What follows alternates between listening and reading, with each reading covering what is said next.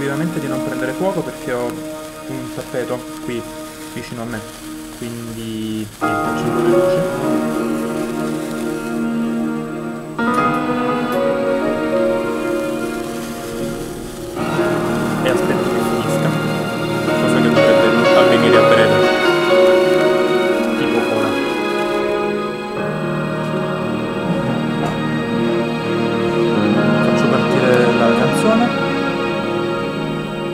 Abbasserò a breve. sounds pull me back down another year.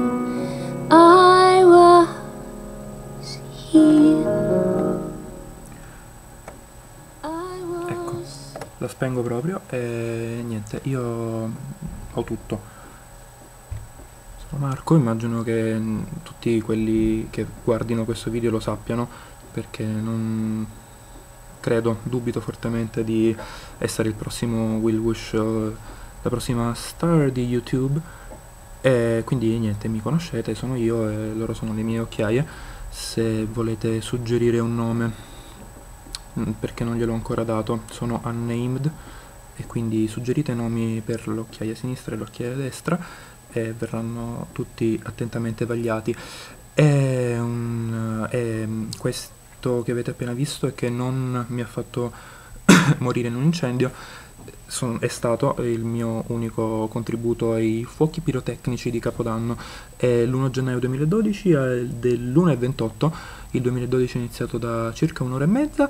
E mm, questo video è mm, per augurare a tutti un buon anno con featuring con le parole, l'ausilio di Emily Dickinson eh, di questo libro che uso mo di libro delle risposte al posto di quei libri che solitamente non si comprano mai ma si sfogliano in libreria per le domande tipo quest'anno troverò l'amore o anche troverò l'amore a breve o troverò i soldi o troverò cose tipo amore e soldi e niente vi invito a fare tutti questa cosa.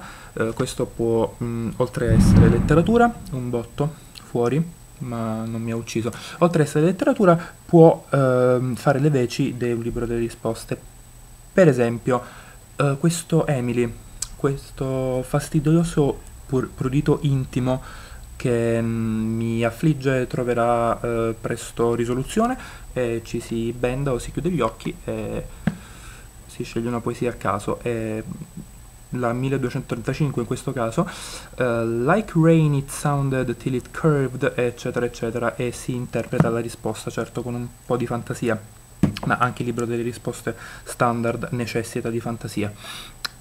E ho selezionato, invece attentamente, non a casaccio, una poesia di Emily per augurare un buon 2012 e la prendo. E Emily ha da dire a tutti noi per quest'anno. To make a prayer it takes a clover and one bee. One clover and a bee and a reverie. The reverie alone will do, if bees are few. Uh, che in italiano è Per fare un prato bastano un trifoglio, un'ape.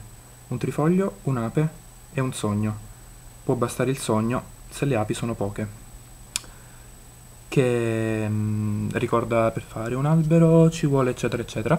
Ma mh, mm, è stata selezionata uh, perché su Facebook uh, da quando sono iscritto si leggono um, ogni anno di questo periodo cose come ah 2009-2010 adesso 2011 fai, hai fatto cacare ti schifo uh, bla bla bla e cose simili lamentele simili e mm, la poetessa ci dice che mm, niente, può bastare eh, Reverie alone will do, può bastare anche solo un Reverie che è stato tradotto come sogno, eh, non è propriamente sogno, piccola cosa noiosa eh, sulla traduzione, free online, thefreeonlinedictionary.com eh, che è molto utile, uso spesso, adesso non mi vedo più perché ho aperto la pagina web, ma è meglio così, uh, ci dice anche la lettura delle parole, cosa utile, eh, questa è la lettura uh, American English, Reverie. che non si è sentita molto probabilmente, alzo il volume.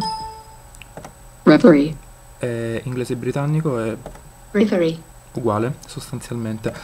e, e non è proprio un sogno ma una cosa più figa, tipo an abstracted state of absorption, un, uno strato di astrazione, um, una um, state of mind characterized by abstraction, daydream, eccetera, eccetera.